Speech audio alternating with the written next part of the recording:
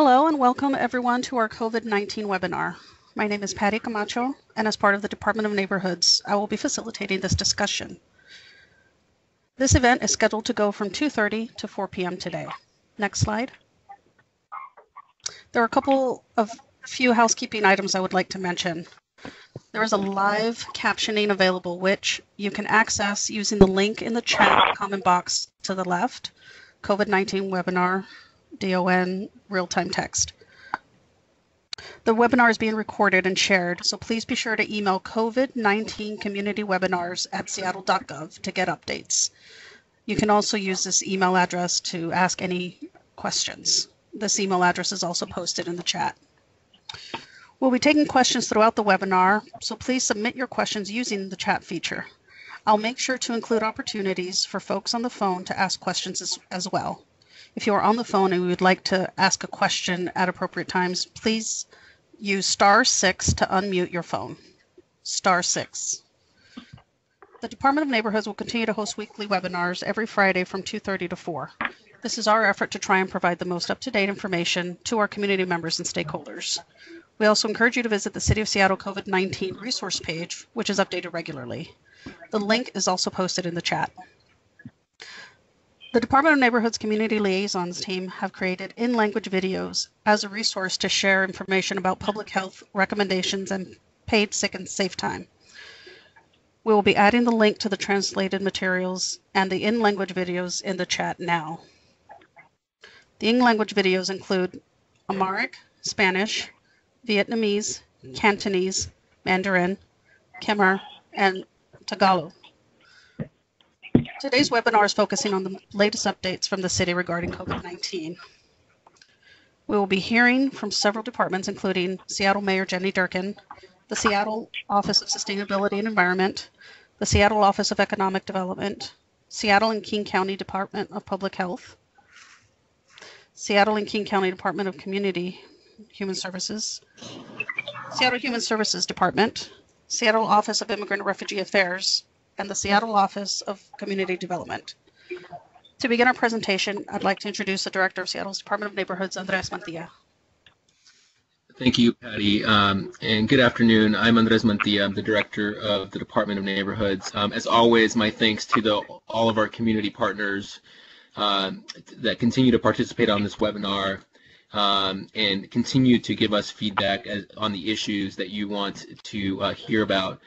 Uh, this presentation is a collaboration with various departments. Thank you to them for, for joining us as well, as well as to King County. Uh, we have presenters, as Patty mentioned today, but today we are also fortunate to have, uh, and I would like to introduce Mayor Jenny Durkan that will join us today to provide some uh, updates and remarks. Uh, Mayor Durkan, please. Thank you. Thank you, Andres, and thank you, Patty. Um, I first want to thank the Department of Neighborhoods as well as the other departments who are on this call and across government um, for all the work they've been doing. Um, but they couldn't do their work without you and listening to community on what we, what is the most critical and urgent needs. Um, this has been the most displacing, um, difficult event, not just for our city, but for I think everybody who lives in the city. And we also know that those impacts are not shared equally and that they were felt first by those who are already living on the margins and have been marginalized.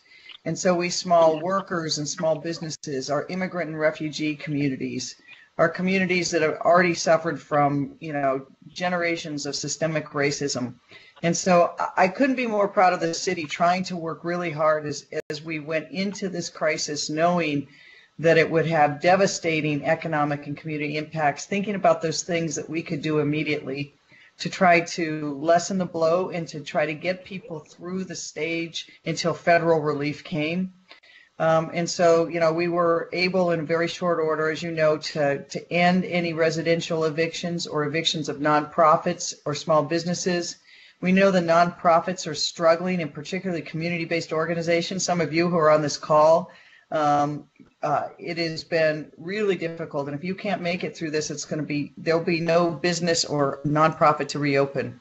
We also worked hard to get grocery vouchers in the hands of people. And the Office of Economic Development, working with Department of Neighborhoods and others, was able to to get over 6,000 families vouchers of $800 Um, and we were able to increase that this week to, to have that program apply to workers who have been uh, suffering the effects of the COVID shutdown.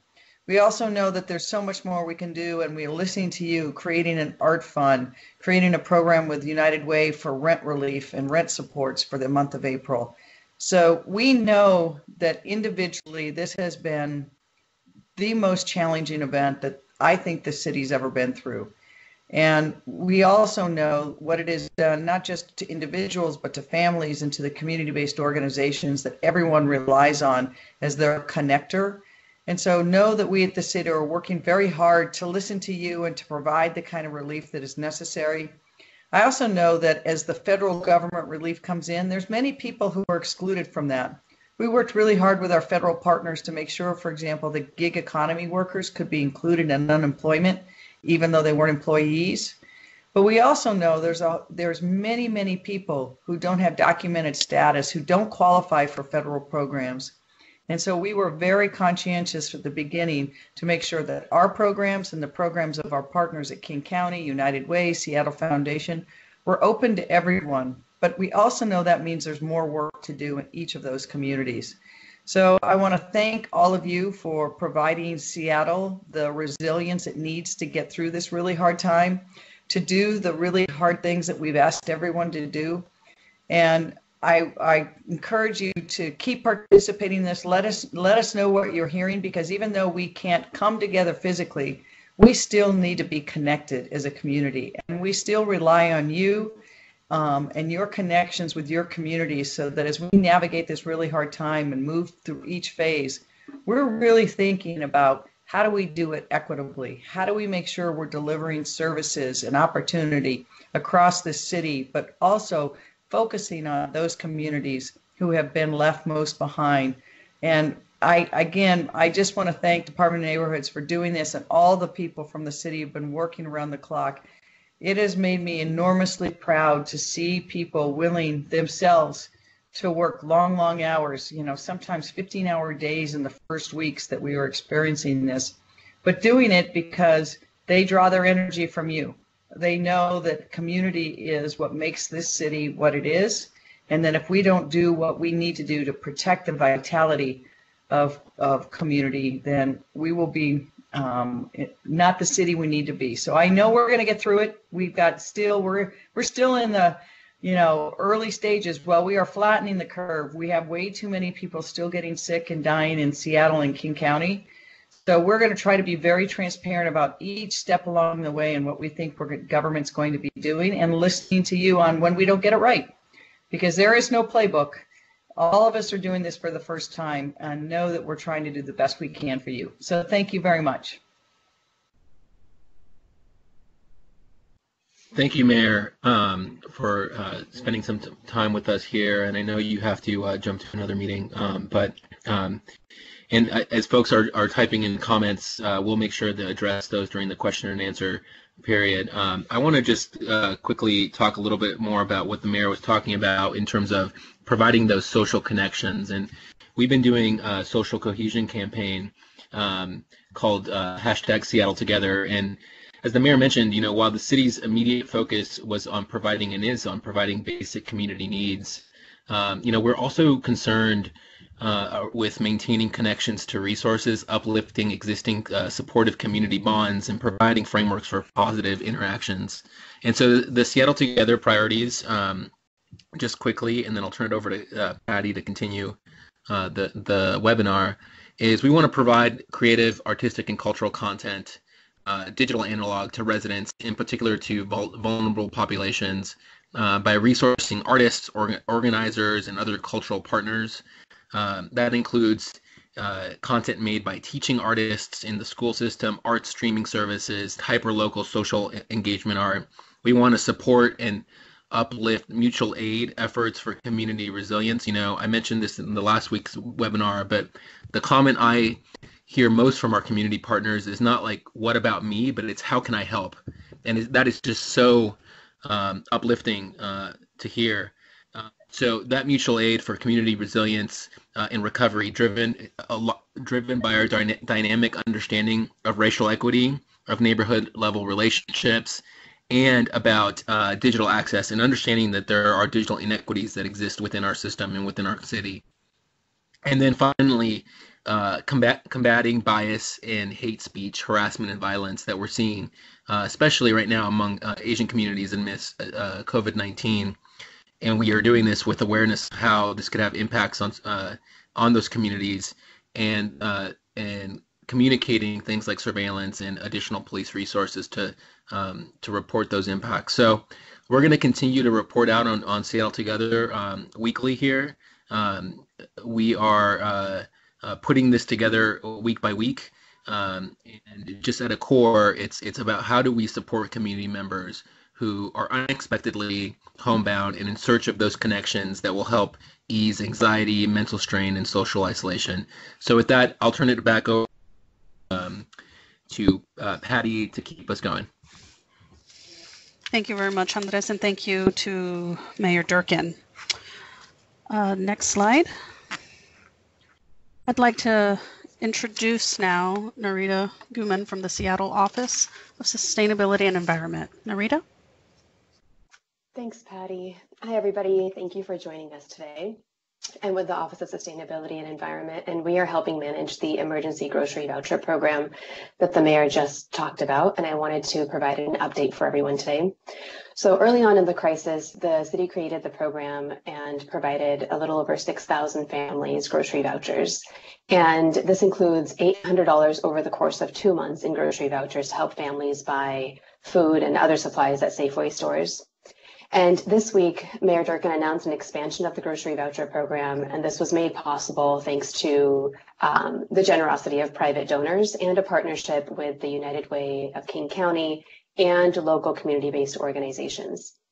We expanded the program to serve an additional 1,000 workers who have recently lost their jobs or face a significant reduction in hours, uh, in work hours due to COVID-19. And United Way of King County is partnering with community-based organizations to distribute the vouchers with a focus on recently displaced workers who are unable to access other forms of government aid um, due to structural or institutional barriers like language barriers, um, fear of deportation, or they may be experiencing gender-based violence. Uh, community organizations are identifying clients and households that they currently support in their work and all of this information has been updated um, on the city's uh, COVID 19 resource page, which also includes um, FAQs that uh, include this information. Um, I also want to remind folks that while the, the city is going to continue to fundraise and expand the grocery voucher program as, as much as possible, um, we know that there's still many others who are in need of getting help with food resources. And in addition to grocery vouchers, there are also many uh, also many community-led efforts to combat food insecurity and get food to folks. And these efforts are organized by both city departments and nonprofit organizations who are leading the effort to coordinate grocery delivery services and meal pickup sites. And so I would encourage people to um, continue visiting the mayor's COVID-19 resource page. It is updated daily with new information, um, and the information is available in multiple languages. Um, so it's, it's a great place to stay up to date. Thank you very much, Narita, for that information. Uh, moving on, I would like to introduce Heidi Hall from the Office of Economic Development. Heidi? Hello, good afternoon, everyone. Thanks for having me. Um, just a couple of quick updates from the Office of Economic Development. We are working with our partners in Seattle to support small businesses and workers that have been impacted by COVID-19. We have a, a, comprehensive resource page that's been launched on OED's webpage that compiles all the different resources and supports for workers and for businesses. So if folks are looking for a summary of different resources available, please feel free to check that out. That's at the Office of Economic Development's website. We also have a team of staff uh, dedicated to providing direct assistance to small businesses and nonprofits to apply for loans and other assistance through the Small Business Administration. So anyone can call our office 206 684 8090 to get that assistance. Um, I do want to share an update though that yesterday we learned that the initial funding is, that was uh, committed in the CARES Act, that was the Federal Relief Act that was passed March 27th, I believe, um, for small business supports that go through the Small Business Administration for the disaster loans and the Paycheck Protection Program. That funding has been spent as of yesterday. And so we are hoping that there'll be additional funding put into that program uh, with the next relief package and should know more next week. For those that are hoping to apply still, the recommendation is to organize documents, you know, still call our office. We can organize organize your documents, pull together information on expenses for 2019 so that you're prepared to apply. Um, a couple of things around uh, unemployment benefits. Again, that's through the State Employment Security Department. There were expanded unemployment benefits put in place through the CARES Act. Uh, that, that included additional um, funding per week for benefits as well as extended um, weeks to claim benefits. One of the new categories is the Pandemic Unemployment Assistance, which provides eligibility for workers that were previously ineligible. So that would include our independent contractors and our gig workers. So they'll be putting new rules in place this weekend. Uh, so for folks that maybe were denied unemployment previously, this would be the opportunity to access some of those benefits. Again, that's the new Pandemic Unemployment Assistance category. And um, OED sponsors a weekly small business webinar Wednesdays at 11 o'clock. And this Wednesday, we will have somebody from the Employment Security Department on that call to talk further about these pieces. Um, and there is a new eligibility tracker on the ESD website, and I'll put that link in the chat so that everyone has it um, has access to that. And I think those are the main updates for now. Happy to answer any questions. And like I said, feel free to reach out to our office if folks need assistance um, accessing some of those small business resources. Thank you. Heidi, thank you very much. Uh, we'd like to add uh, one more speaker um, on our recurring department area. Uh, I'd like to invite Robin Koskey from Office of Housing to talk a little bit about rent relief. Robin? Hi, everybody. Thank you so much for having me on the webinar today, and I appreciate all of the people who are taking the time to listen in. Um, first of all, I just wanted to talk a little bit about something that some people may have heard about. Of course, we have a local uh, eviction moratorium that Mayor Durkan very quickly put into action at the end of February. But yesterday, the governor also announced uh, an, an, extension to his statewide eviction moratorium that will be in effect until June 4th. It does some interesting additional things that will be very helpful um, to people who are having trouble paying their rent. First of all, it prohibits all residential evictions and also any sheriffs from taking action on any eviction orders. It prohibits late fees, uh, just as we have in our local uh, eviction moratorium. But it also says that uh, the tenant can a tenant cannot be uh, required to pay the full amount of rent at the expiration of the moratorium. So what that means is is if you were a person and say for example you couldn't pay your rent in April, May, or June, uh, and you your rent was one thousand dollars per month. That would mean that, of course, even though the moratorium is in effect, rent is still due. You can't be evicted, but you are still responsible for the rent. Um, then at the end of that three month period, you would have $3,000 due if you hadn't paid any of your rent. This moratorium means that the landlord has to set up a payment plan. They can't just say on you know June 5th, sorry, you have to pay $3,000 or I'm going to evict you. Um, so that's a very considerable new protection that's been put into effect. Um, there is also um, what I think you could call in sort of common um, terms a rent freeze. Uh, it basically says that property owners aren't allowed to increase rent on commercial or residential properties at this time. Um, I did ask a clarifying question to the governor's office today. If a rent increase was put into effect before uh, today when the moratorium went into effect, then that rent increase would still be allowed. Um, but any rent increases, even if you had sent a letter to someone saying you were planning to increase their rent, and that you know on May 1st or um, whenever that date might be, um, you're you're not you're prohibited from doing that um, under the governor's new eviction moratorium. So um, quite bold action by our governor um, last evening. I also wanted to highlight, um, you know, the best way uh, to help people who are having trouble paying their mortgage is to contact the Washington Home Ownership Resource Center. And when I'm done speaking, I will put the link into the chat. Um, and the phone number into the into the chat so everybody has it. Um, but um, you know, we were trying to give some advice to people about if you have a federally backed mortgage through Fannie or Freddie, or if you have this kind of mortgage. I think it's very confusing for people to try to figure out, especially when they're in a crisis, exactly what kind of mortgage they have. So the best thing to do is to suggest that if they are having trouble, whether they can't pay their whole mortgage or they can't make the payment at all, that they should call the um, Homeownership Resource Center. And um, you know, most banks are offering forbearance and foreclosure protection. The the government, and if they're a federally backed mortgage, then they are required to do that.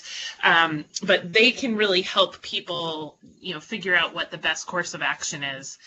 Um, the other thing that I will say is that, you know, it's really, really important to encourage people to act quickly because there's more that can be done, you know, if you only have missed one mortgage payment than if you start, you know, missing multiple payments. It's much easier to, you know, get something in place with the bank if you get in there early.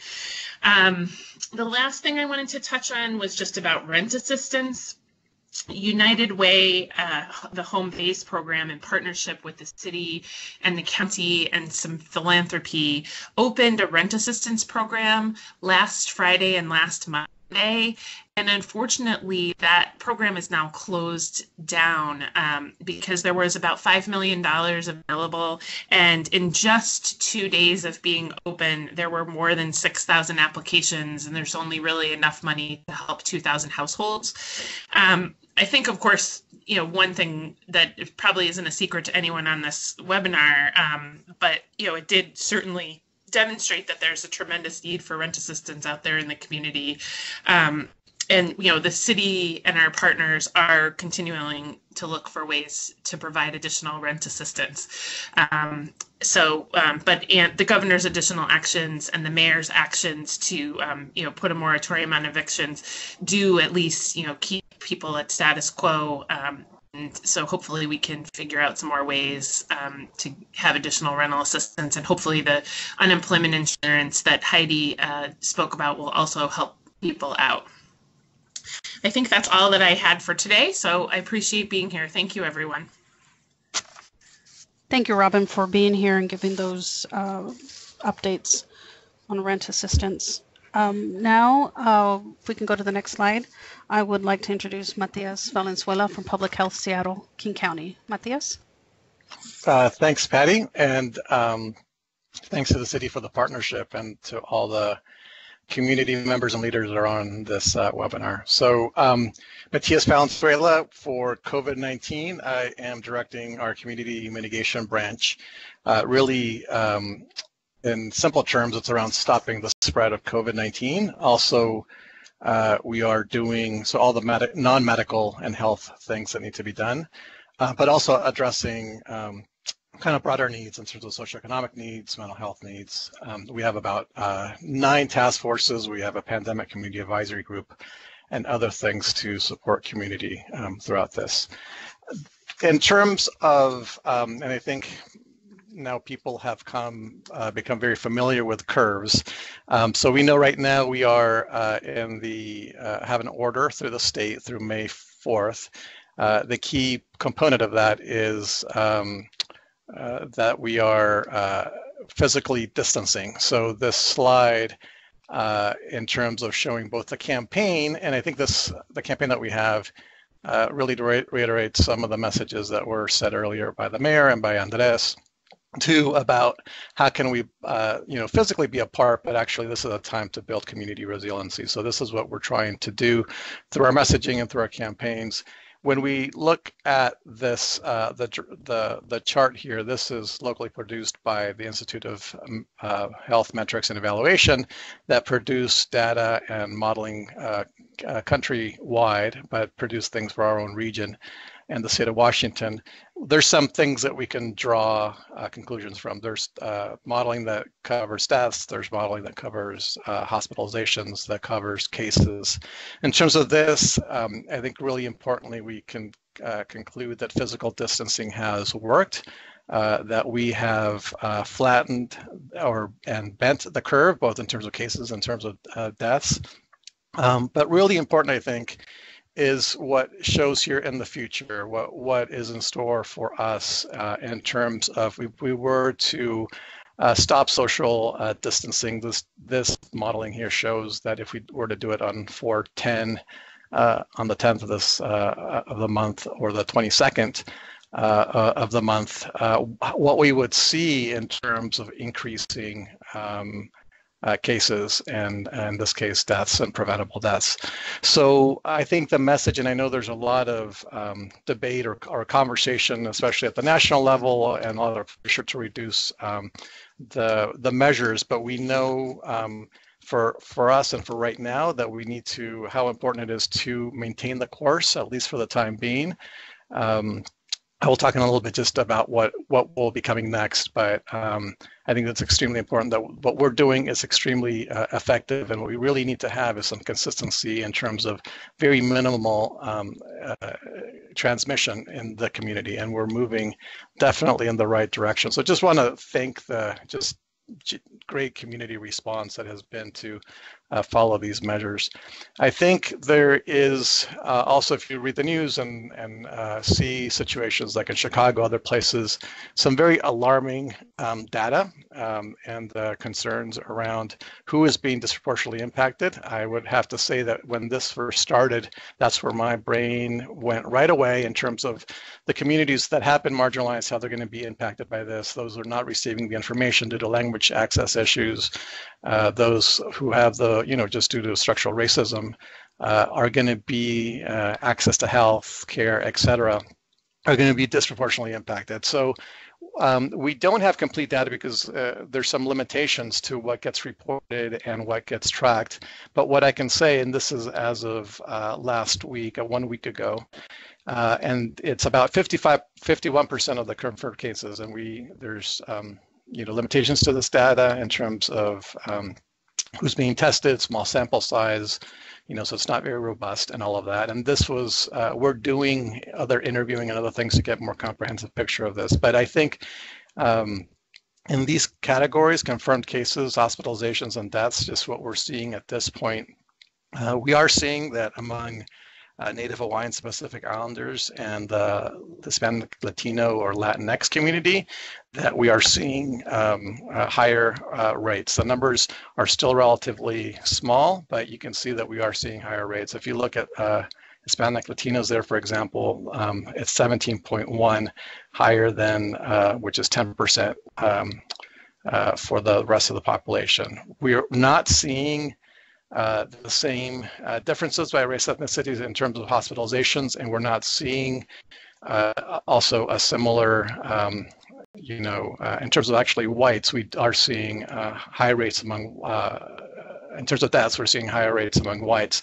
And some of these things are just, since the numbers are small, for example, we had some uh, cases in, in like long-term care facilities out in the east side where we had large numbers of deaths. So those are really driving uh, the, the numbers now. But I think with time, we should be having a clear and clear uh, picture. Unfortunately, I think just what this means in terms of an early indicator, and it's just uh, uh our, our uh, how important it is to continue to put an emphasis on our immigrant refugee communities and our communities of color and those who are uh, lower income. One of the things too that's really important is we at, at the county and Public Health Elkin County, we're advocating now at the state and to the State Board of Health to have more uh, comprehensive tracking of race ethnicity uh, for labs and in healthcare settings because right now when you have for chemical diseases not just covid but for any other ones you don't uh, race and ethnicity are not tracked. So this is actually a very time intensive effort that king county is doing right now just to be able to capture uh, this data. So just looking ahead and we've i i covered what has been um, a, a, bit where we have been and how we've been um, really flattening the curve. I think it's really important. But uh, there is a lot of um, pressure and interest to adjust our community mitigation uh, measures. I was also uh, personally part of a, a, federal task force convened by the CDC and FEMA, uh, focusing on reopening America, and more and more. Um, frameworks are being released um, and here in our state to local uh, health and um, others are working with the state and combining efforts with the state of Oregon and Washington to really align in our uh, approach. Um, but this, it's really important to also um, realize that what we need, at least from a public health perspective, to be able to really begin to adjust the mitigation measures is going to in, in, involve a number of things that, in fact, we don't have in place yet. So really thinking about, we're going to have to have really widespread availability of testing for COVID-19. And we all know the, the, the, challenges that have existed there. Uh, we also need to have a healthcare system um, that is prepared to really uh, be able to admit the critically sick. Uh, and we know um, right now it's the, the situation is um, is manageable, but um, if we were to loosen up uh, restrictions, uh, and the measures, we're going to have our healthcare system really overwhelmed. So really thinking about and being prepared to actually uh, take on newer cases because we will see an increase once we do adjustments to the measures. Also, um, and this has been a national concern, the, the lack of personal protective equipment um, for healthcare workers and others in the community who need to care for patients. So this is still a struggle to actually be able to have we're having to prioritize to uh, some of our top tiers in terms of healthcare providers. So there are many others, even um, some folks on the front lines that are not even having uh, the personal protective equipment that is needed.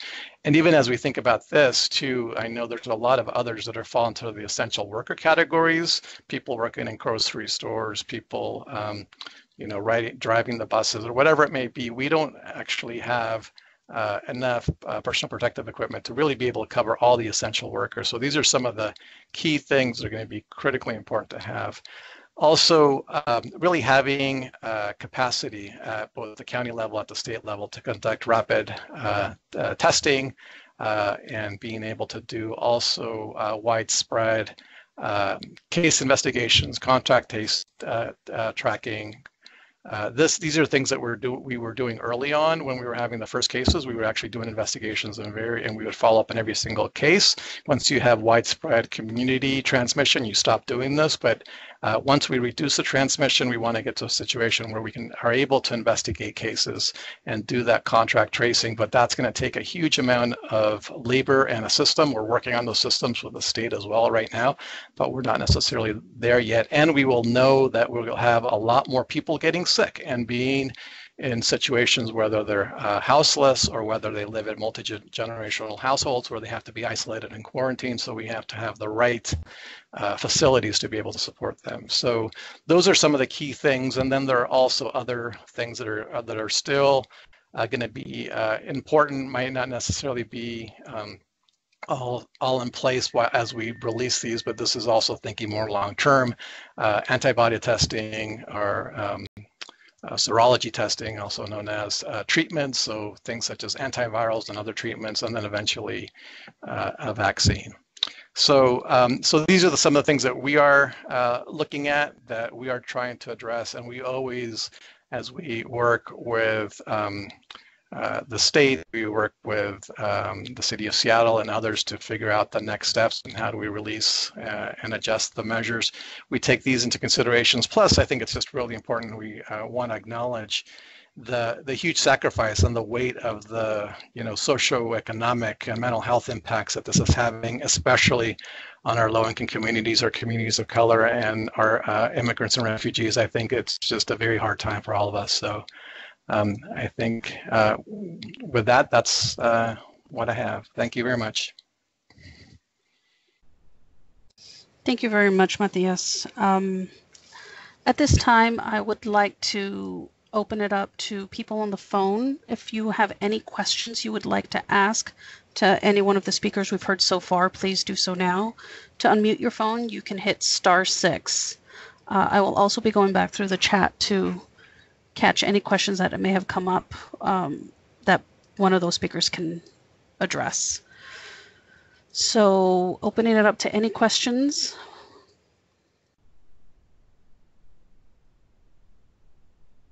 Okay, there was a question in the chat feature asking about the, um, from Amanda Richter, I would like to know how we are tracking the infection rate of our unhoused. Uh, in addition, she asked, what are our plans to actually house people rather than having them use common facilities? Um, is there anyone, any presenter or anyone from a department on the line who could answer that? So from uh, this Matthias, from a public health perspective, I can talk about just the, the testing. I think there are uh, two settings that are of high priority for us, I would say, and these are um, uh, the homeless shelters and the long-term care facilities. So this is where we, um, you know, in the county does have public health, have um, teams that are responding um, really as a kind of these um, strike teams don't like the name, but that's what they're calling them, and they're actually going and addressing issues as they arise because these are um, really uh, places that we need to be able to um, address early. It's either uh, people who have underlying health conditions or older, so we need to be able to uh, stop transmission quickly, and those are also prioritized for, um, you know, especially the, the homeless population for isolation and quarantine when necessary.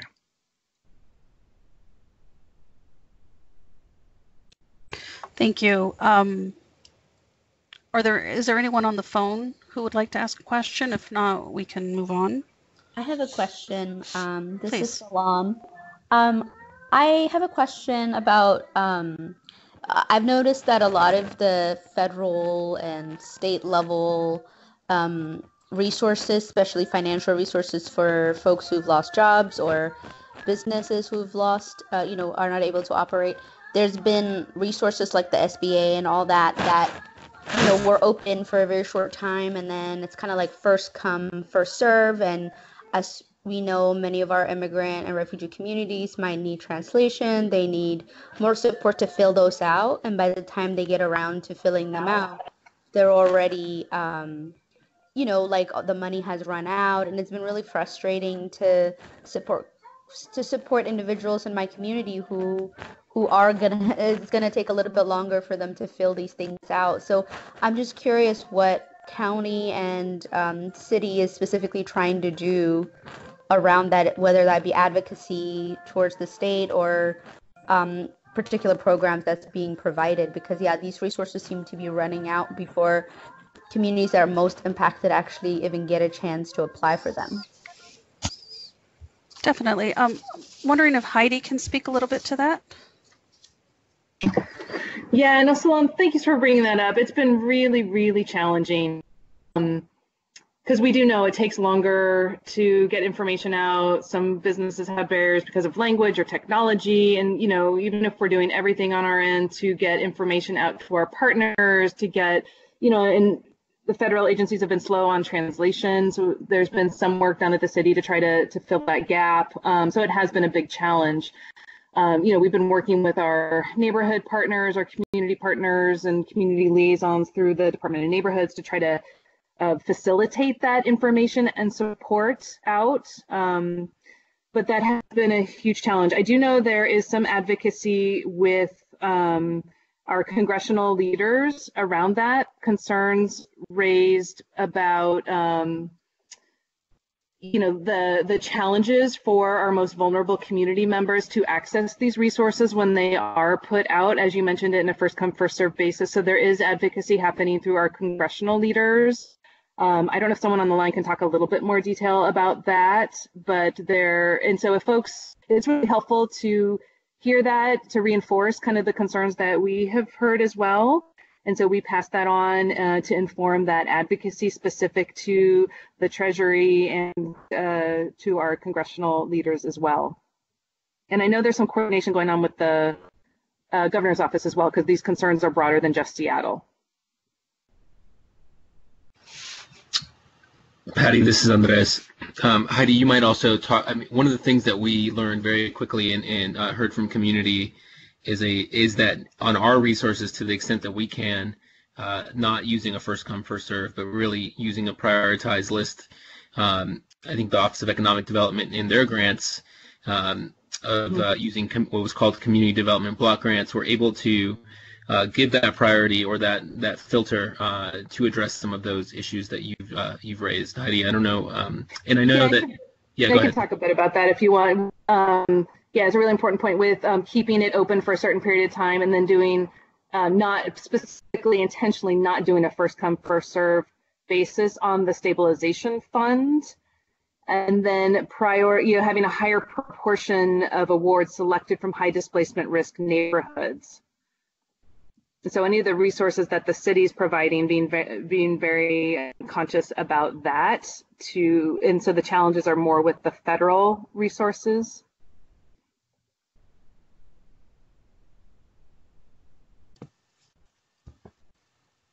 So uh, the city continues, uh, as Heidi was saying, this is Andres, to uh, to advocate um, through our congressional delegation for expansion of resources um, for additional um, translation services, as Heidi was mentioning, and and, and uh, a more open process. So we can uh, next week uh, bring on some more information around that, specifically as as the next stimulus package begins to take hold. Uh, so uh, thank you for raising those questions. Patty? Thank you, everyone, for that. Um, I'd like to move on now um, and continue with King County. Um, Callie Knight from King County. Uh, she'll be giving some standing updates on COVID 19 response facilities. Callie? Hey, thanks so much, Patty. Um, really appreciate having the standing agenda item and for the partnership with Department of Neighborhoods. Really appreciate all of you. Um, hey, everyone. Callie Knight here with Executive Constantine's office. Um, I'm working with a team of outreach professionals to lead the county's outreach and engagement around the siting of COVID-19 response facilities. Um, those are isolation and quarantine facilities, assessment and recovery centers, as well as shelter de-intensification facilities. And we have a few of those located within the city of Seattle. So we have um, isolation and quarantine facilities um, up at Harborview and the former Harborview Hall um, uh, 24-7 enhanced homeless shelter and one at uh, North Aurora. Those are both operational. Um, we have a the shelter de-intensification site for the Harborview Hall 24-7 shelter is at our former archives building on 12th and Yesler. We have a site that we're setting up in Interbay that this, the use for that site will either be an assessment or recovery facility or a shelter de-intensification based on what the need is, but that use is still being determined. Um, and then we have an unopened assessment and recovery site slated in Sodo. Um, so those are the facilities that King County is working to stand up um, within the city of Seattle. Um, I think yesterday we had 74 individuals who were staying at um, isolation and quarantine or assessment and recovery centers countywide. Um, those are open again at Harborview Hall in North Aurora, in Issaquah, and down in Kent. And then last weekend we opened our first um, uh, assessment and recovery center up in the city of Shoreline. Um, so that was operational this week and beginning to um, accept uh, clients. Um, with that, I want to just pass it over to my colleague Brad Finegood at Public Health Seattle King County. He can give us an update on the case numbers in King County to date, um, and then we can, um, if there's time, uh, address any questions. Thanks so much. Thanks, Kelly. Can everyone hear me okay? Yes, you're good. Great, thank you so much. Um, I'm so thankful, first of all, uh, to be on this call. Second of all, I'm very thankful to come after Matthias um, because he did a much better job of presenting the information from public health standpoint uh, than I would or could. Um, so thank you, and thank you to everyone. Uh, just and you know to echo everyone um, uh, who has said this before, but on behalf of Public Health Seattle King County, just a huge thank you to the whole community, to the city of Seattle for um, being able to to comply with our you know, stay home and staying safe um, edicts. It is very much um, a matter of community coming together behind this cause to um, to to work to address this cause. And there are so many um, impacts of that. Um, and the city is doing so much amazing work, and along with the county to help try to mitigate that as best as possible. This is not um, a great uh, situation, obviously, and there have been so many negative repercussions um, from it. But just a huge thank you to everybody. It has we've really, you know, as we were one of the first uh, in the United States to have active COVID cases. Um, the um, we are just super uh, thankful that everybody has rallied in such such quick time. Um, just a couple of things that I'll add to what Matthias was talking about. The the you know the flattening of the curve is really not uh, COVID going away, but it's it's the slowing of the transmission of COVID, and it's the, uh, the ability of our healthcare sector to be able to keep up. And just you know, just a, such thank you to the people on the front lines every single day. Um, Callie and um, Sherry Hamilton will talk have talked, and we'll talk a little bit more about you know the isolation and quarantine sites. Um, the um, that have been in our response to, to help um, vulnerable populations and populations who can't isolate and quarantine um, on site. So a couple of uh, quick notes are um, as of yeah, as of actually uh, earlier today, the most recent numbers were reported, and you can find these updated on our website at kingcounty.gov backslash COVID. But there were 331 deaths across King County um, since uh, since COVID has been here um, due to COVID, and that number is up 11 from yesterday. We have four. We have tracked 4,009 4,902 uh, cases of COVID since um, since we started testing for COVID, um, and that is up 93 uh, from yesterday. One last point I'll bring up is the Institute for Disease Modeling, um, in conjunction with King County, put out a report earlier this week talking about the slowing of transmission.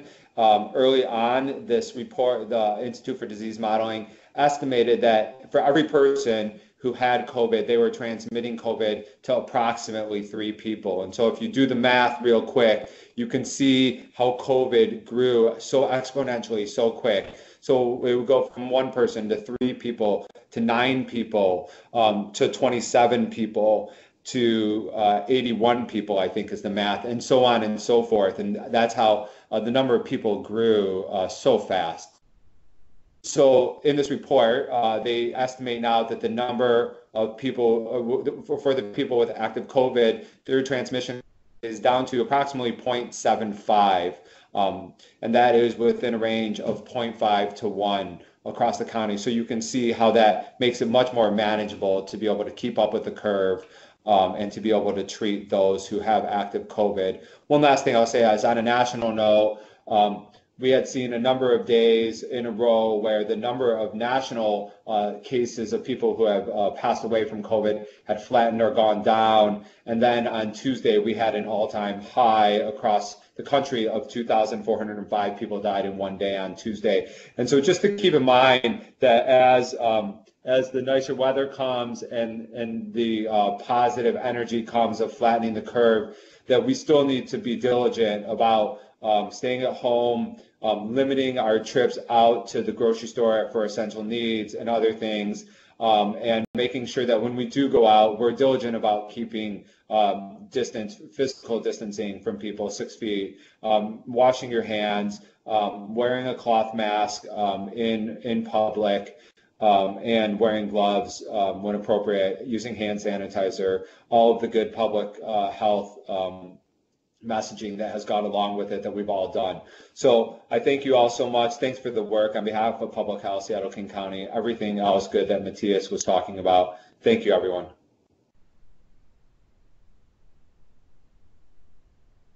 Thank you, Brad. Um, Callie, is, is there anything you'd like to add? Yeah, um, I'll just say that um, every Tuesday I send up I send out an email update around our uh, facilities in the city of Seattle, um, and so if you would like to be added to that distribution list, I'm just going to type my um, email address into the chat box, um, and you can feel free to reach out to me, and we will get you on that email distribution list. Um, and with that, thanks so much, Patty, and everyone. Thank you, Callie and Brad. Um, I just want to mention now that if anyone does have any question that either uh, we are not necessarily answering on this webinar or something you think of later, do email us at COVID-19 community webinars seattle.gov. Uh, we will be getting back to people on that email. Um, I'd like to continue our presentation and invite Irene Stewart and Angela Miyamoto from Aging and Disability Services with the Seattle Human Services Department. Irene, Angela? Hey, thank you, Patty, and um, thank you, Patty and Andres, for having us. Um, we're really happy to have this opportunity to share information about Seattle Human Services Department's Aging and Disability Services Division and the services that we provide for older people. Um, again, I'm Irene Stewart. I manage communications for Aging and Disability Services, and I will be referring to ADS for short. Um, next slide, please. ADS is an area agency on aging, and we serve all of Seattle and King County. Um, even though we're a division of a city department, we are one of 13 area agencies in Washington state and among more than 600 nationwide that coordinate services for older people, adults with disabilities, family caregivers, and more. This um, so-called aging network has been in place since 1972. Next slide, please. ADS serves more than 46,000 people every year with case management services. Oh, by the way, that's an unduplicated count. With case management services for in-home care, for community meals, home delivered meals, caregiver support, caregiver respite, kinship care, information and assistance, and much more especially during COVID-19, maintaining services for existing clients and providing information and assistance for anyone with an aging or disability issue are really high priorities for our Human Services Department and for Aging and Disability Services. Thankfully, we forged a really close working relationship um, a number of years ago with Public Health, and we have an interlocal agreement. They're one of our uh, partners when we realized that COVID-19 was here, we were able to collaborate with public health and other aging network advocates very quickly. An example is the COVID-19 Older Adults Task Force that um, we serve on with public health and, and other advocates uh, that troubleshoots new issues and challenges related to older people as they arise. So who's looking out for older people who are most vulnerable? ADS has more than 12,000 long-term care case management clients at any given time who are receiving in-home services. Many of them have complex needs, and with our support, they're able to stay in their own homes. Uh, in addition, we provide caregiver support, respite, and kinship care services for hundreds of people. So our existing aging network that in Seattle King County is operated by the Human Services Department. It's largely unseen by the public, but it has allowed us to check in with a large clientele at high risk of contracting COVID-19. And so who do you call if you need support services for an older person? And that could be um, a friend, a family member, yourself, or even a client or customer. Next slide, please. ADS coordinates a service that's called Community Living Connections, and you've, if you've been listening to these webinars, I know you've heard this term before, but you may not have recognized that it was a service that um, is provided free of charge by the Human Services Department um, and specifically by Aging and Disability Services. Community Living Connections serves as the front door to most of our services and um, not only ours, but um, services that are provided by um, community partners as well. Anyone with a question about aging or disabilities can call for professional, confidential information and referrals free of charge. And that includes um, people who need resource information for their clients or customers. Um, as of yesterday afternoon, the top concerns um, in recent days mentioned in community living connections calls were food delivery, Transportation, uh, reduced transportation options, especially during the so-called senior hours at grocery stores, and then also moving. And we need to get more information about that third item. Um, that was curious to us. So um, it's important to know that each area agency on aging, both statewide and across the nation, has some version of this service. And so if there's someone if you live outside of Seattle or King County, or you're concerned about someone who lives even across the country, you can call Community Living Connections and you can be connected to the right advocate in, for the area that you're interested in. We're all part of an extensive national network of aging and disability resource centers, and there is no wrong door. Um, who do you call? In Seattle, King County, the number to call is toll free 844 348 5464, or you can visit communitylivingconnections.org. And again, if you live um, outside of King County or anywhere else in the country, um, if you're concerned about a, a, a, parent or a grandparent elsewhere, you can still call and you can get the support you need where you need it. So, older people, adults with disabilities, caregivers, family members, professionals can call to get objective, confidential information about community resources and service options. Next slide, please. I'm going to turn this over to Angela now, and she's going to talk about food access for older people, which, as I mentioned, is one of the um, top concerns right now. Um, thank you. Thank you, Irene. Um, so I'm Angela Miyamoto, and I'm a planner with Aging and Disability Services. And what you see here is a food resources map that was developed by our Human Services Department. And I believe it was shared on this webinar a few weeks ago, as well as Narita mentioned earlier on this call. And the food resources map um, highlights food banks and food meal programs, and it's updated quite frequently. So there's these tiny little dots on the map, and if you hover over the dots, details will appear about the site name, location, um, some eligibility criteria, um, hours of operation, um, contact information. So ADS, we contract with a lot of community agencies to provide meals to the older adult 60 plus population. Um, many of these agencies also provide food bags and meals through a takeout or delivery method um, just during this emergency time. So things really change quite frequently and the food map is, although it is um, updated daily, it's a good idea to check ahead of time for sites um, availability because you may need to pre-order or schedule a delivery for food and meals. Uh, next slide, please. If you need ongoing meal delivery service, um, ADS contracts with two agencies um, highlighted here, Chicken Soup Brigade and Sound Generations. Um, they all they all offer de home delivered meals, and a person can receive seven to 14 meals a week, either dropped off once a week. And um, Chicken Soup Brigade offers a variety of meal options tailored for different conditions. So if a person needs um, easy, easy digestion, a soft meal, um, dialysis, no gluten, no dairy, no fish, um, vegetarian meal, they also have a healthy standard meal that complies with American Heart Association and American Diabetes Association recommendations. Um, they also offer grocery bags tailored for East African, API, and Latinx communities, as well as low cook and no cook options and vegetarian and vegan options. Sound Generations Meals on Wheels offers regular meals as well as vegetarian, vegan, low sodium, kosher, and halal meals.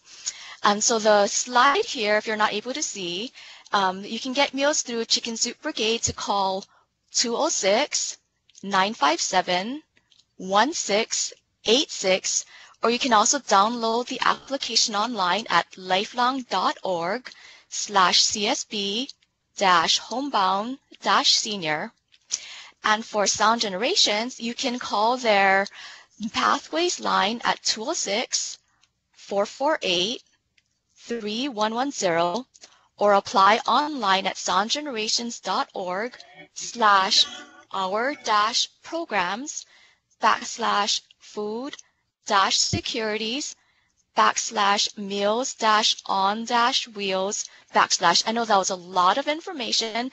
It's also in chat, and I believe um, you can access slides um, after this presentation. Um, next slide, please.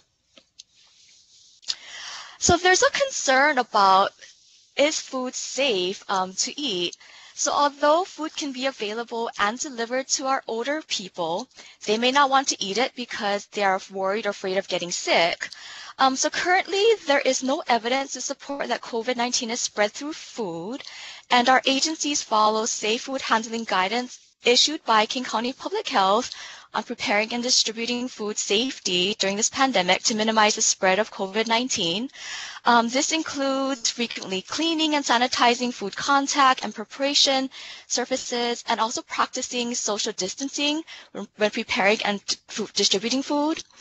Um, we also know that food can be more acceptable if it's delivered by a friendly face or trusted source. So is there a friendly, a neighbor or friend that can help um, with food pickup and distribution? Um, next slide. So food may be one, just maybe one need for older people as well as the community and a good place to call just for ongoing up-to-date resource information, again, as Irene mentioned, is our Community Living Connections line. Um, please call them toll-free at 844 348 5464, and they could really help in connecting people to resources. Again, 844 348 5464. And do we have time for any questions right now? Yes, if anybody on the line uh, has any questions they'd like to ask ADS right now about anything they presented, um, if you're on the phone, you can use star six to unmute yourself, or you can enter a question in the chat box.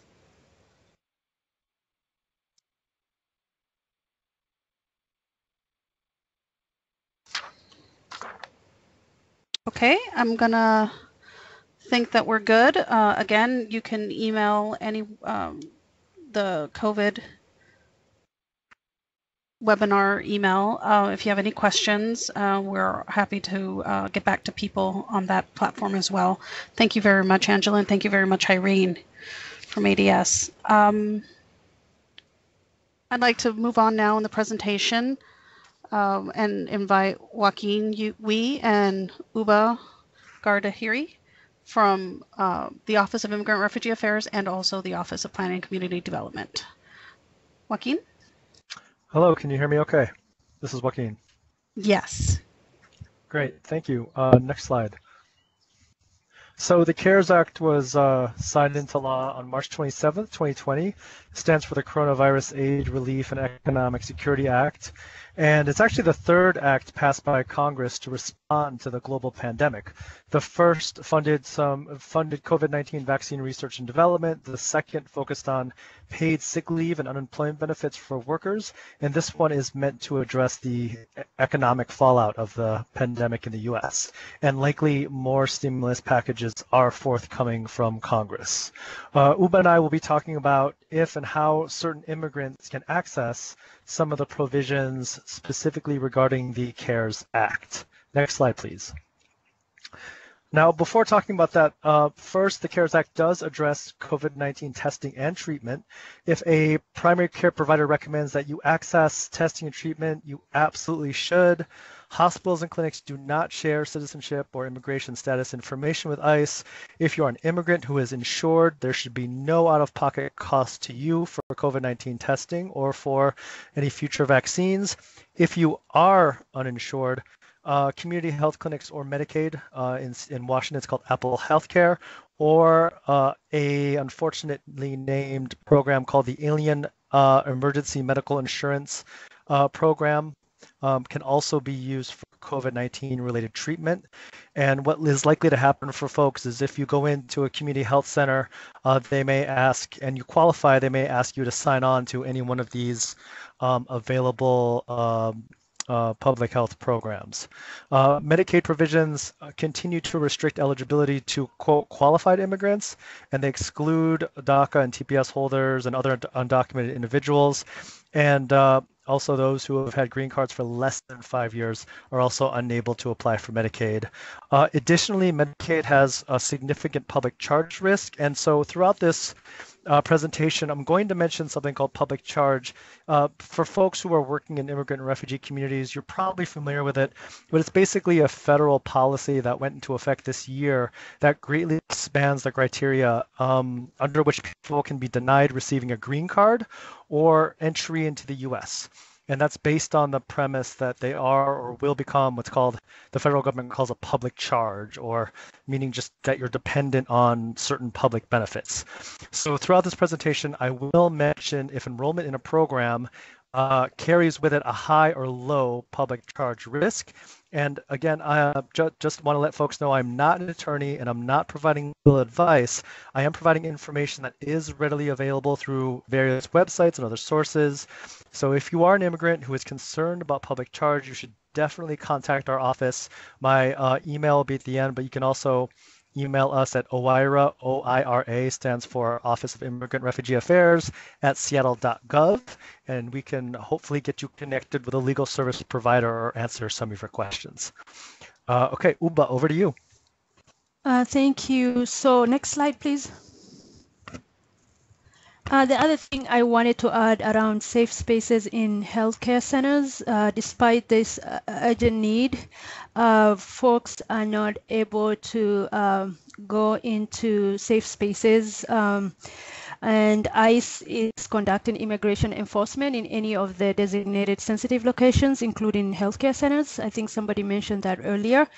And then when you look at, despite the national emergency, again, if you look at keeping spaces safe uh, is critical, but ICE continues to engage in immigration enforcement actions, ignoring state and local stay at home orders and strict social distancing guidelines at a time when non essential establishments are closing and people are being urged to stay at home.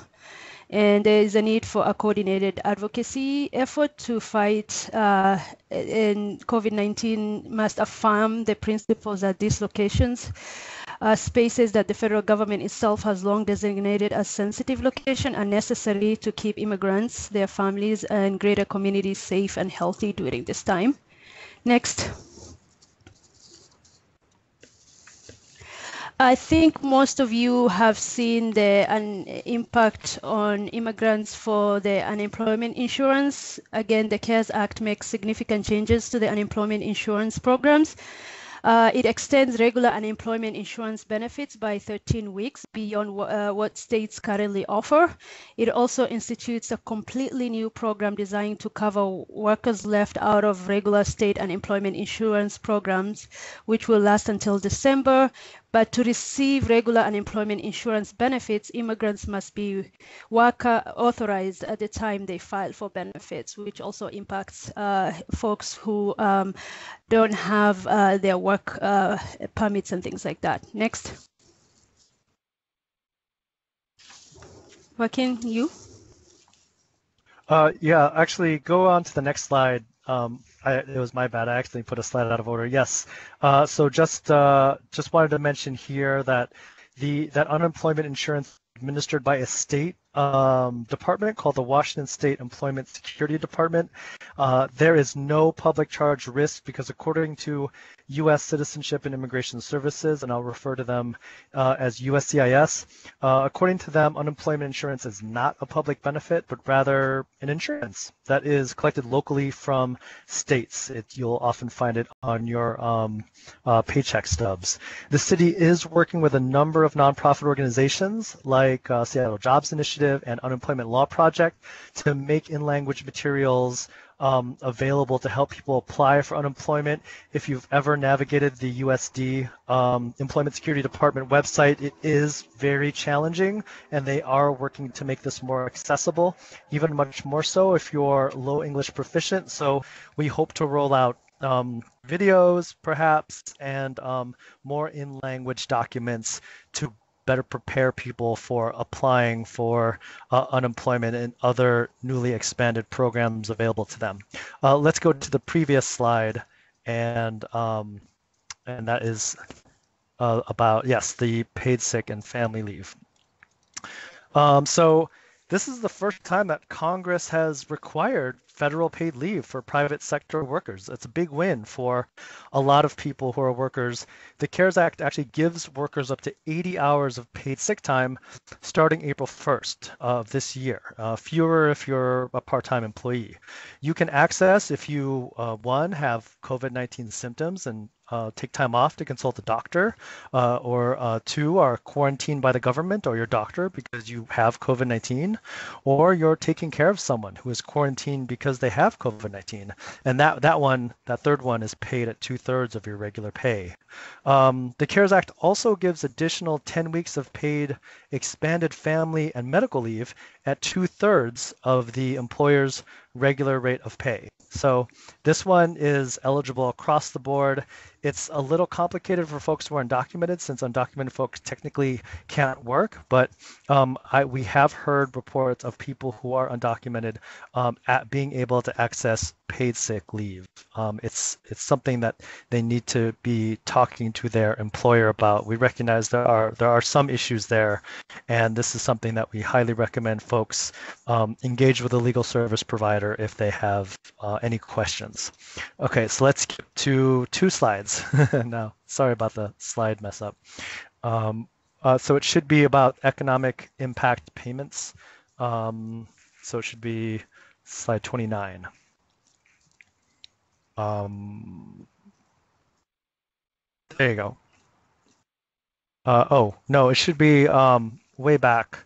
Um, slide 29. We're on slide 33, 32, 30. Uh, one more. There you go. Go ahead. Take it away, Uba. Yeah. So for uh, the recovery rebate for and the economic impact payment, I know that most of you probably got your stimulus check, but what I uh, wanted to add is uh, the eligibility for this is generally restricted to individuals with social security numbers and individuals with an individual tax identification numbers who already paid taxes are not eligible, nor will any members of their households, including citizens, uh, children who are citizens who are like in mixed status family, one uh, and uh, one parent uh, is a citizen and the other one is not.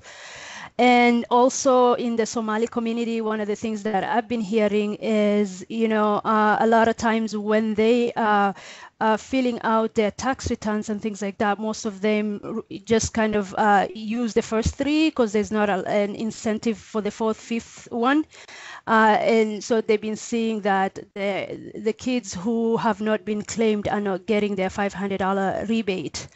Um, so that's also having an impact in some of the communities who um, one don't have a social security number and have paid taxes the kids who are citizen and also some uh, kind of immigrant groups who have uh, haven't been um, claiming some of their dependents on the taxpayers return you want to add the public charge risk uh, yes for this one um, there is no public charge risk if you're receiving this. Um, it's not considered, a, a, according according to the advocates we've talked to, it's not considered a public benefit.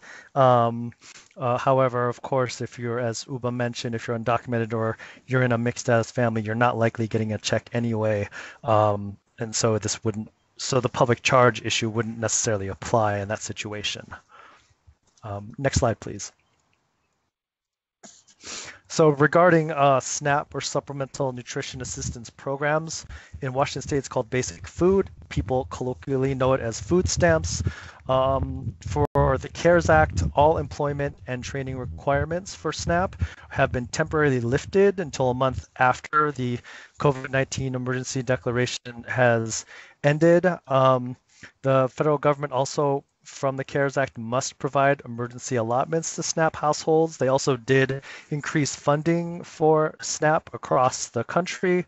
Unfortunately, CARES Act does nothing to expand the eligibility for food stamps. So SNAP assistance is denied to most immigrants, especially people who are undocumented, and also for non qualified immigrants, including DACA TPS holders, uh, and people who have had their green cards for less than five years. There is a significant public charge risk. So if you are able to access this program, you might have a difficulty um, accessing a green card in the future, or you might have difficulty um, sponsoring a family member into the U.S. Again, for situations specific to you, we recommend seeking a legal service provider, and we have a list of those folks at our website. Uh, that is seattle.gov/oira, and you can navigate to the public charge page that we have there. We uh, encourage people to call, as as folks had mentioned earlier, anyone can access food bank services regardless of your immigration status. I do know that many food banks have pivoted to a food delivery model or even a drive up food pickup model. And um, there's been a number of donations from both private and public organizations to our food banks. Uh, again, you can go to seattle.gov slash COVID-19 and under the food support tab, there's a number of resources that are both place-based or community-based and that also show the maps of uh, the map of food banks around the city that are still offering enhanced services. Uh, next slide, please. Over to you, Uba. Yeah, I think uh, the folks from OED has sh have shared uh, the small business and profits uh, who are eligible to apply for low interest and zero interest uh, funding. Uh, but uh, one of the things that I wanted to share here is the other thing that I'm hearing from the Muslim community and the Somali community is most some of them um, and, and need a Sharia compliant way to access loans, or even some of them will not access loans unless it's grants. Uh, so uh, people, some folks are not actually accessing the mosques, and uh, some nonprofits, uh, like the Charm community, had mentioned to one of our project sponsors that they have not, they haven't been able to access the Paycheck Protection Program, for example. Next slide. I'm not going through the details in here because I don't want to repeat things that um, OED has already talked about. Uh, but on the next slide, what I uh, also wanted to share is I think as of yesterday, uh, the SBA has reported that they're uh, unable to accept any more lenders or applications. But um, I think both uh, Business Northwest, Impact Northwest, and another group called Credit. Um, and credit loan credit something i forgot i'm sorry uh, uh, offering 0% uh, forgivable loans. But then again, as I said, some uh, folks who are really strict, as soon as they hear loans and interest, even with the 0%, are not accessing those. Joaquin? Thank you. Uh, next slide. Uh, and also, um, before I talk about City of Seattle programs and services, I just wanted to mention that if uh, if you are undocumented um, and you do own a small business, unfortunately, you cannot access any of the Small Business Administration federal loan products. Uh, they do require a Social Security number um, there, if you are a legal permanent resident, you may be able to access certain loans. It is a bit more complicated. You'll have to talk with a financial institution to learn more. Also, the Office of Economic Development, uh, they do have small business advisors who are able to help you. Uh, on to the city of Seattle. Um, to answer Salam's question earlier, there is also some advocacy that's happening around setting up a Washington state fund towards an unemployment program for workers, especially undocumented workers. And so there was a letter that went out that the city of Seattle signed on to, uh, thanks to the leadership of uh, of our mayor, and it went to Governor Inslee um, and folks in the state legislature asking them to um, for financial support specifically for undocumented workers in Washington state. And so those advocacy efforts are indeed ongoing. And then regarding City of Seattle, um, City of Seattle programs, in case anyone is unsure, um, pretty much all I can confidently say that all City of Seattle programs are available to all immigrants living in the city, including undocumented immigrants. We do not ask for your immigration status. It's actually in an ordinance that I can't even ask you in the course of my job what your status is. That would be against the ordinance and against our policy. Usage of city services has no public charge risk because it's a local program. And um, we also have information translated into at least six languages about public charge if anyone has any specific public charge questions, and that's over at welcoming.seattle.gov um, slash COVID-19 public charge, all one word, uh, slash, or you could just uh, go to welcoming.seattle.gov and you can navigate our blog there where we keep a lot of our translated information. Um, also, I wanted to mention again, we probably have been mentioning this all across this webinar, but why not mention it again, seattle.gov slash COVID-19. The site has uh, language access in it.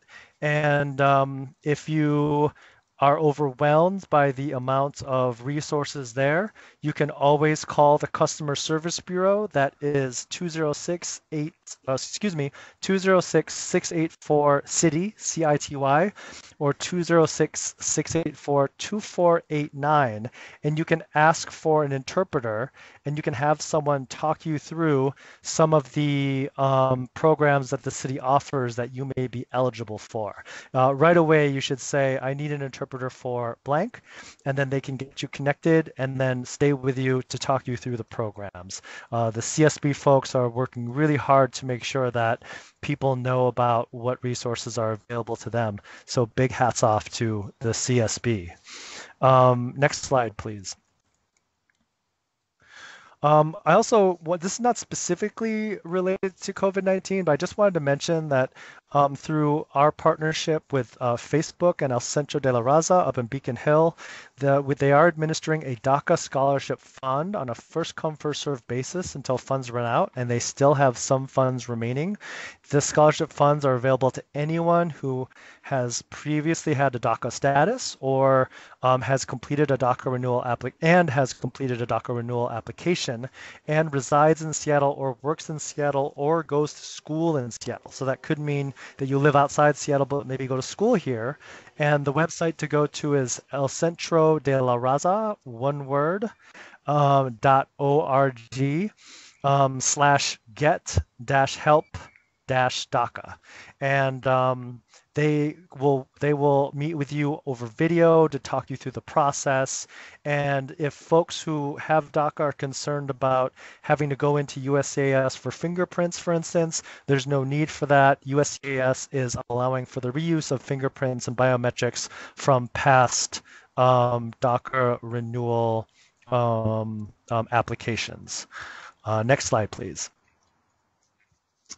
Um, I also want to talk about this new program that has just launched today, actually, called the Washington State Disaster Cash Assistance Program, or DCAP. Um, and, and effective today and available for one month in a 12 month period for all Washington residents who are income eligible and who are not eligible for other cash programs like uh, TANF, which is Temporary Assistance for Needy Families, or the ABD cash program, etc. If you are unable to access those programs, say because you're undocumented, then you can start applying for DCAP, and you can do do it through one of two ways. Um, uh, Salam this is something that may be interesting for the people you work with. Uh, you can call 877 501 2233. That's 877 501 2233. Again, immediately ask for an interpreter and they can connect you um, with a with someone who can talk you through the program and or you can go to washingtonconnection.org. Uh, I'm told we're running a bit behind, so that was actually the the one program I really wanted folks to get out there um, about um, um, about the DCAP program. There may be a slight um, public charge repercussion for a very small amount of families, but it's really um, specific and it's something that um, uh, it would be better if I just talked with you about it. So feel free to email me at Joaquin, J O A Q U I N dot at seattle.gov and I'm happy to connect with you and talk with you more about that. And we can just skip to the next section. Uh, thanks so much. Thank you, Joaquin, and thank you, Uba. Um, if anyone has any questions on those, uh, we will get back to those questions. Uh, quickly, I would like to pass it back to Robin from the Office of Housing. Uh, Robin, are you on the line? I am here. Uh, thanks for having me back. I just wanted to say quickly that Mayor Durkan is doing a number of things to advocate on behalf of undocumented people in our community. Um, she's done a couple of things. One is that um, she signed on to a letter at the federal level uh, that Mayor Garcetti in LA and over 60 other mayors signed on to asking the federal government to automatically extend employment authorization documents for DACA recipients. Um, Senator Murray, uh, our, our uh, we're, who we're very lucky to have as our Washington senator, is likely to introduce some legislation around this in the very near future, and the city is following and advocating for that legislation. Uh, at the state level, also, um, the mayor has asked the state government to create a a fund for undocumented immigrants, um, an undocumented worker relief fund, to provide you know some resources for people who aren't eligible for unemployment comp- compensation. Um, and you know, in fact, I was just on a call with the mayor earlier today where she was talking with other local mayors um, about you know what could be done to help those who are undocumented in our community. So just wanted people to be aware of that. Thank you very much for that additional information, Robin. Um, at this point, I want to go back. I know there were some questions that were put into the chat earlier, um, specifically for the OIRA OPCD people. Um, I believe that Joaquin has already sort of answered them in there, but I'd like to read them out right now uh, from Salam. What kind of financial resources can you make available for immigrant and refugee communities? So much of the federal and state level support has run out before our population has gotten a chance to even apply for them. I believe he talked a little bit about that in there. Uh, Joaquin, was there anything else you wanted to add on that question? Uh, no, just that some of I just I just said no, and then here I am talking. Sorry, just that um the the some of the first round of uh, programs like the Small Business Stabilization Program, the Emergency Food Vouchers, and the um, um, United Way King County King County and Seattle City of Seattle rent assistance programs. Um, they were wildly successful, and we're fundraising for them. So we hope to open to reopen um, applications for those in the future. Please um, keep, um, um I would say, keep uh, uh, accessing seattle.gov and uh, the COVID-19 resource page to find out more about the resources that are going to be online coming up. Thanks. Thank you. Um, going on with other resources, there is one more resource that we forgot to put on this slide, but I would like to mention, and we will also put a link to it in the chat box. Uh, Alert Seattle. Alert Seattle is a great resource for people to get updates, current updates, to the minute updates on um, one Seattle, Alert Seattle on Seattle related um, updates, but there is also specific Alert Seattle COVID 19 that people can sign up for. The uh, emergency notification system um, I encourage people to, uh, that's another resource that people can use to get uh, up to date information. Moving on, um, at this point, uh, I want to thank all of our presenters for giving such great, vital information. Um, we are very appreciative of having everyone here. Um, I'd like to know if there are any remaining questions that people might want to ask our presenters. Uh, again, you can hit star six to unmute your phones and or you can type them into the chat box. In the meantime, I would like to go over some additional community resources. Give people a chance to get questions in. Um, Jessica, can we go back? Thank you. Uh, some. This is a list of some additional community resources that um, we'd like to highlight uh, highlight on different topics. I know this slide has many different links. Um, we know that there are many efforts uh, being done by or their community for the community. Um, we also understand that this page might be very difficult to read. Uh, we are happy to get you that information um, via email as well. Um, a lot of links, uh, uh, a lot of them have phone numbers as well that I believe are toll free. Some are toll free, some are local numbers. Feel free to use this resource, communities resource page um, for to get more information um, for you and your community. Hi, um, Patty, this is Wang Wang. I want to ask a question that I saw in the chat box, and Please. I believe it was from Amanda Richer. Um, and she asked, is there a way we can require accepting of tenants currently unhoused into empty apartments? And I wonder if Robin is on the call from OH uh, or someone from Housing Office of Housing that might be able to answer that. Um, you know, the the city does have a, a you know some programs that assist people to get into private market and subsidized rental apartments. Um, but you know, um, as we know, we are a little bit limited on rental assistance funds. Um, but we, you know, the the city's uh, programs do continue to operate. Um, you know, unfortunately, it's difficult to force private market landlords um, to accept um, people, but we do have a program called the Housing Connector, um, which works directly with people who are experiencing homelessness and um, does get them into largely private market apartments in our community.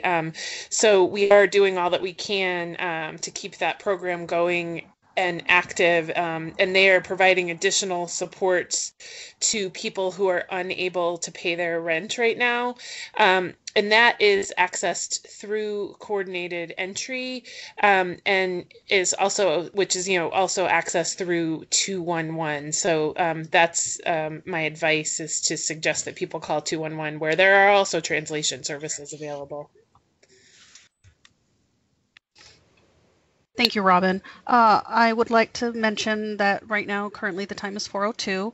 Um, we still have a few more questions, and if it's okay with everyone, uh, presenters and participants alike, we'd like to continue and get through some of these questions while we have people on the phone. Um, I also want, to say that, uh, again, if anyone has anything that they would like any any information they would like to see on these webinars or any questions that are maybe specific and they don't want to mention them here, do go ahead and email us at COVID-19 community webinars at seattle.gov. Um, at this time, uh, Wang Wang, do you have any more questions you heard from community? Yeah. Yes, I've been tracking some of the questions in the chat box, and this is a question that asks, are the public restrooms safe for unhoused community um, members? So if there's someone from Parks or um, um, HSD or, or maybe King County that can help answer that question? Are the public restrooms safe for our unhoused community members?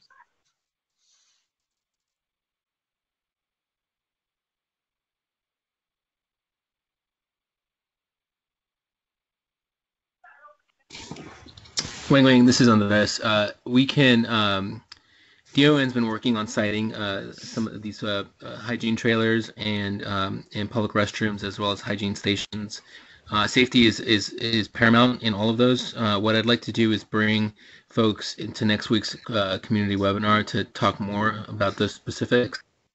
We can get back to that question. Thank you, Andres.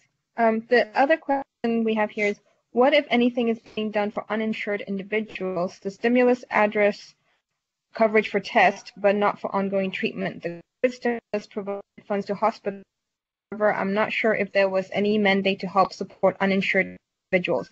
It is expected people will have upward to $75,000 in medical bills for cases that were extended stay is required to treat COVID. Do we have anyone on the line who might be able to address this comment?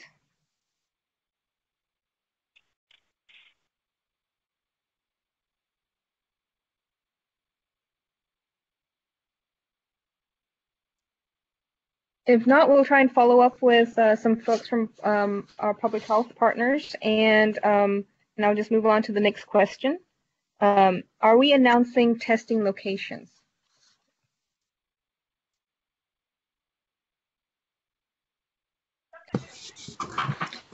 Yeah, we can put that. Um, we have testing locations that maybe uh, I don't have them in front of me, but we can follow up with a map of those and Wang Wang, I, I, I don't know if it was me or, or, or if other folks experienced the same thing, but you were cutting in and out of the last question.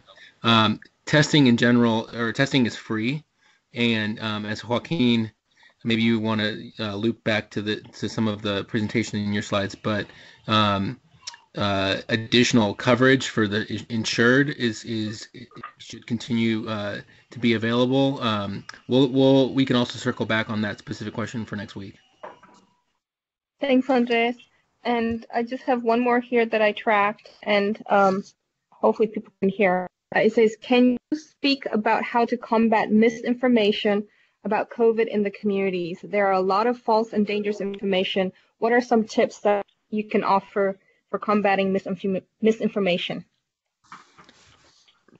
Yeah, this is Andres again. It's a fantastic question, and I see uh, several of our community partners on the call. Um, one of the biggest services that you can do for for uh, either your neighborhood, your community, um, your, any stakeholders that you're working with is help share accurate information to to dispel those rumors. Um, part of what we're trying to do is is um, is as part of Seattle Together is, is to put out accurate information, especially when it comes to things uh, like the anti-hate uh, campaign that OIRA and others are pushing forward, and um, Office of Civil Rights as well. Um, it's so important for us to stay on the same message uh, with consistent um, uh, with the county. I think we've we and with the state we've tried to really maintain a consistent message with that. We know that there's a ton of misinformation, a ton of uh, information about false vaccines, um, about false uh, things about testing. Um, in those cases, please email us uh, if you have specific questions, and we're happy to clarify. Um, but our, our, our messaging and our, our public information officers um, uh, at working out of our emergency operations center are really trying to provide consistent information um, uh, as well.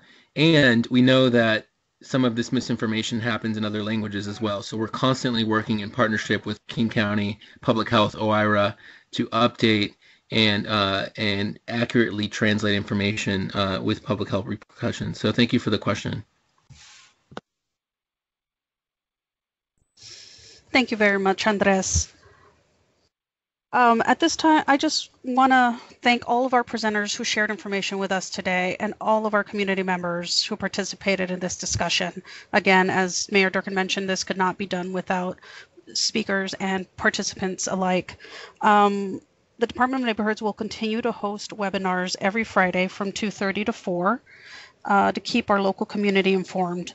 We also encourage you to explore other resources and the community organizations and city departments have made available. Uh, again, those links, uh, the community links are uh, on the slide, and uh, we are happy to email you with those slides if you reach out to us at COVID 19 community webinars at seattle.gov.